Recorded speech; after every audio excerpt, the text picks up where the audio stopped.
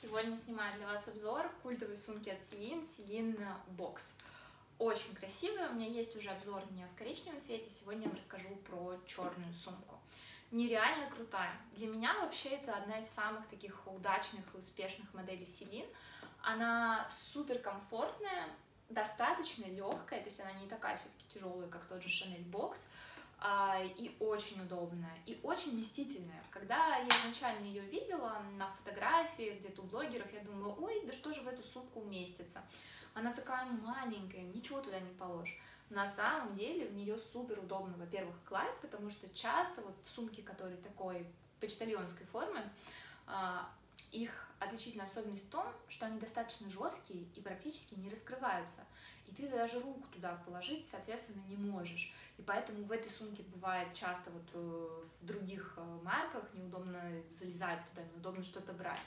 Здесь же, на мой взгляд, все э, супер органично, супер удобно. Она раскрывается вот так вот как э, гармошечка. Там есть э, два основных отделения, одно побольше, другое, соответственно, чуть-чуть поменьше. Можете туда и телефон, и ключи, и очки положить, и помаду, и, соответственно, ваш какой-то кошелечек. И есть еще одно отделение, карман, собственно, на молнии. Внутри все в коже, что тоже делает сумку супер роскошной, красивой и э, элегантной, на мой взгляд. Отделение на молнии тоже достаточно большое, Туда можно положить какие-то ваши документы, средства гигиены и так далее. Вот. А, еще есть тоже вот между, собственно, большим отделением, отделением на молнии еще небольшой кармашек, туда тоже можно что-нибудь положить.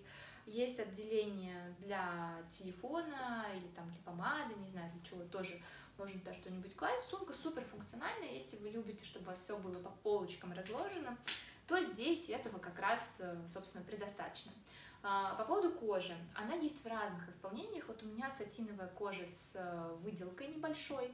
Она не такая ребристая, как вот у коричневой у меня в обзоре, но тем не менее кожа очень, я считаю, ноская. Конечно, к ней нужно приладиться и носить ее, собственно, аккуратно, потому что все-таки это все равно не неубиваемая канва, это все-таки кожа, но тем не менее сумка, на мой взгляд, э, супер классная.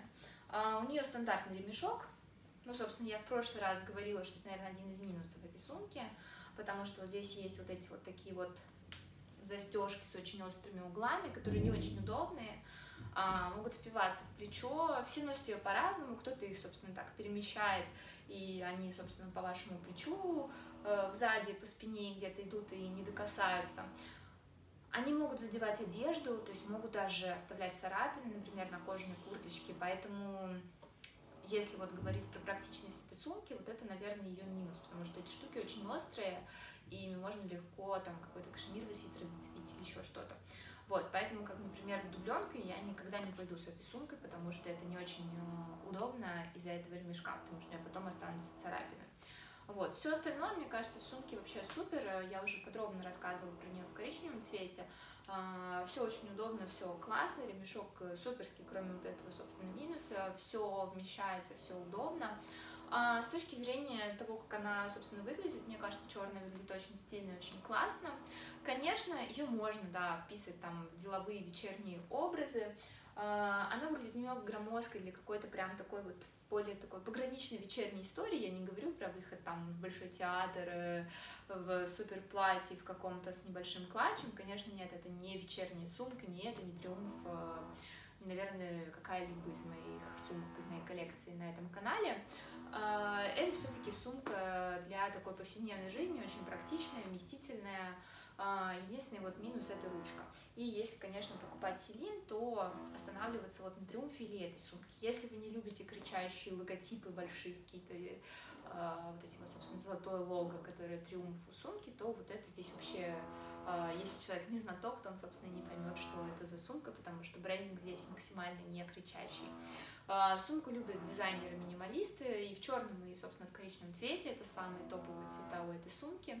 А, она является до сих пор, несмотря на то, что была выпущена очень давно вообще бокс, а, является одним из э, желанных элементов э, гардероба, поэтому если вы задумываетесь о покупке, наверное, я бы начала бы знакомиться с этим брендом, с э, Триумфа, либо классического бокса, и смотрите по цвету, какой вам лучше подходит.